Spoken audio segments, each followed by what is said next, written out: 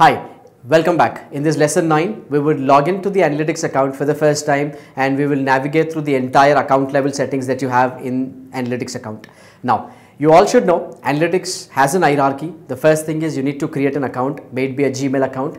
With a Gmail account, what you do is you create an analytics account in the analytics account, you create a property. In the property, you have views. So we will discuss about all these things and we'll also go practically check all these account level settings. And in the next videos, we'll learn about the deeper things in analytics. But this video is specifically restricted to the account level settings. Remember, first is the Gmail account.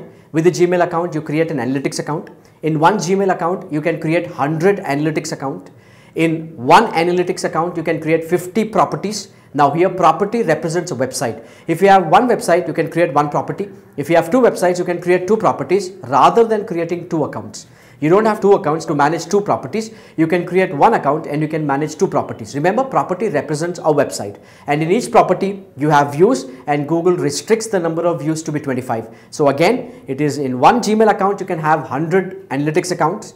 In one analytic account, you can have 50 properties and in each property you can have 25 views. So this is the maximum number of views that you can have in one property. We will discuss about how views work and what are the filters that you can apply in view level settings. We will do all of these things in the practical demonstration. So continue to watch me as I take you through the actual Google Analytics interface. In this video, we'll look at the account hierarchy and uh, this will set the foundation straight before we get into the actual reports right? So we have only discussed about the basic foundations like what is a session what's a new visitor returning visitor what is client id how the cookies are dropped and how google identifies uh, a user using the client id so we discussed about these things but we haven't discussed about any reports as such. So in my future videos we'll completely talk about and focus on reports. But before we go there i want to really uh, finish off the account level settings and the property level settings and the view level settings. So the other two videos will also focus on the property and the view level but in this video i would specifically dedicate to, uh, to, to, to study upon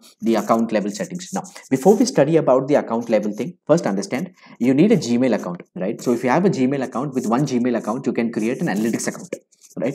A lot of people think, hey, if I have uh, two, two websites, should I create two Gmail accounts or is it possible that I can create one Gmail account and create two analytics accounts, right? So we will speak more on that. So jump with me. So if you're if you're uh, watching this video i would recommend you to go alongside open a new tab and uh, do the same steps i'm doing. So you'll have a better idea. So you can understand what i'm really trying to convey and connect to me right? So this is my gmail account. I logged into my gmail account. In one gmail account remember you can create several analytics accounts so the number is 100 for now. So in one gmail account what you can do is you can create 100 analytics account right? So first the hierarchy it's a gmail account. In the gmail account you create analytics account. In the analytics account you create the property. In the property you create the view. Now there are certain settings available at each level. So if you talk about the account level settings you have certain settings here. If you talk about the property you have certain settings available in the property. If you have a view then you have certain settings available in the view. I'm not going to talk about the view here because I will create a specific dedicated video for the property level settings and view level settings. But remember this, in one Gmail account, you can create 100 analytics account. In one analytic account, you can create 50 properties. And in each property, you can create 25 views. Remember, one Gmail account, 100 analytics accounts. In one analytic account, 50 properties. And in each property, you can create 50 views. Now, so if you have two websites, you don't have to create two Gmail accounts. You can only create one Gmail account and you can create two, uh, two analytics accounts now here to have multiple accounts right? So i logged into one account make marketer if you want to go create a new account what you can do is you can create a new analytics account. I'm not creating a new gmail account here. I'm creating a new analytic account. So when you create a new analytic account it will ask you the name of the account. You give the name of the account. And these are certain things that google will ask you to check. The first one is google products and services. What this does is see google always wants to give you the assistance. In case you have any query you can always reach back to their google analytics support team and they should have access to uh, your data. And they can only have access to the data when you select all these things so. Remember you got to check all these check boxes and click on uh, you know save. Now account specialist for google to give you any support about any query that you have they need to access the data and that will only happen when you select this right? And you need technical support and all these things. So it is always recommended that you don't uncheck any of them. You simply go check all of them and click on uh, a save. So this is how you create a new account. And in that account you create a property. And remember you don't get google analytics tracking code at the account level. You get google analytics tracking code at the property level property in a sense represents each website. So if you have two websites you can create two analytics accounts or you can create two properties in one analytics also. So you don't have to keep creating analytics account just because you have different website right? Now again if you're an agency if you have multiple clients it is always recommended that you create two analytics accounts. If you own two websites i would not recommend you to create two analytics accounts. I would recommend you to create only one analytics account and create two properties right? Because you own the entire business right? That business has two websites so you don't have to create two accounts. You can only create one account two properties. If you're working with two different clients altogether never do this mistake of having two properties. Create two accounts. In one account you can create one property for each of them because they should ultimately have the access you know not you because you're just a manager. You might not like your service at times so you might move away to other agency. So he should he should always have that freedom to do so right? Now when you talk about the account level setting i just showed you how to create a new analytic account. The same gmail account i'm creating multiple analytics account you can create 100 of them. Now account level setting when you come to account level setting i just showed you google products right? Data sharing settings right right? Why data sharing is very important? Because google at times wants to give you the benchmarks and all those things right? So google you know you know takes all these data from different industries and only then they they they run this you know you know analysis and then come up with industry benchmarks. Hey if you're working in the you know cosmetic segment this is what you should have and, and so and so right? Right. So this is what you find it here. And then user account management you can give access to people as well. If there are three people working in your agency right? What you can do is you can give them access. I have people what i can do is i can i can even add people so i can give them access. Now when you come to access again there are different kind of access levels here.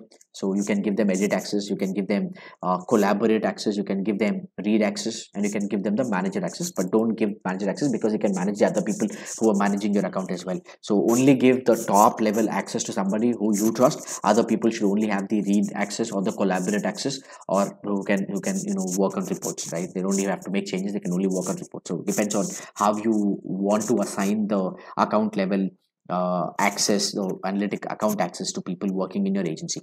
Now here you have filters. Now filter is a very dangerous topic. Filters you got to be very very serious when you approach filters because filters are non-retractive. That means if you apply a filter what google does is google applies these filters before the data is collected. That means whatever filter you apply that data google will not even collect. It depends on the include filter or the exclude filter. And but generally when you talk about filters you apply filters at the view level. But what google did was they even give you the option to create filters here. When you create a filter you can create a lot of filters that we will talk about right? But when you create a filter at account level remember you have to select any particular view. Because filters are applied at the view level. Because they're applied at the view level right? So you can create a view uh, a filter at account level and still apply to view level from here right? So you have predefined filters right? Include or exclude. I will talk about filters in my future videos but not here. So remember you can even apply a lot of filters right? If you if you want to filter out all the spam uh, traffic if you want to filter out data coming from particular region or particular device or you say i want only people coming you know from particular IP address I want to exclude or particular you know internet service providers that they'll get a lot of spam. I don't want that traffic to be included in my view. So you can apply a lot of exclude filters right? We will talk about filters in the future videos but right now let us stick to account level settings. So uh, it is here but still it is more emphasized at the view level. So let's ignore this for now right? In case you create a filter also you can still go and delete them right and here it shows views. So this filter is applied only to one view. So if you have a filter applied to multiple views you can still find them here. Now change history.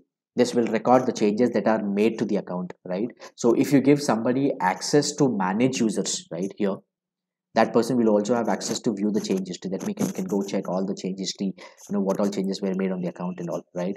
Right. And next if somebody deletes an analytics account you still have the access here. You still go back and restore the account. That means you still have 35 days of time. So if you delete an analytics account you still have 35 days of time to get that account back into your uh, uh, analytics account right? After 35 days google generally doesn't keep this data. So remember guys these are the five account level settings that you have right? First one is account level settings. You have to check all of them. Second one is user access. You can give different users uh, different people with different access levels and then you have filters. You can create filters and you can still apply them at view level. We will more we will talk about these filters in detail when we go to the view level. But still google gives you one option here. Then you have something called change history it records all the changes that people make on the account. And then if somebody deletes an account you can still have the access to go back and restore the account right? So with this i will uh, finish off the account level settings. In my next video i will talk about the property level settings and i will give you an overview. As we learn deeper as you watch my other videos you'll become more and more clear. You'll get more and more confidence about using google analytics and uh, analyzing the data that you get in analytics and become a better web analyst. Thank you for watching the entire video. Continue to watch the other videos in the playlist. Remember these videos are extensive we are doing some deep study. Don't jump the videos. Watch the entire videos they're little short and some videos are very lengthy but the whole point of creating these videos is to teach you skills that you would otherwise not learn at any institute. Remember, we run Digital Marketing Bootcamp, India's first digital marketing bootcamp. It's the most high-end digital marketing program in the country. And uh, if you haven't subscribed to a channel, subscribe to our channel and hit on the bell icon below so that you would be notified every time we post a new video on this channel. Thank you so much. Keep watching, keep learning, keep growing, aspire, acquire, achieve.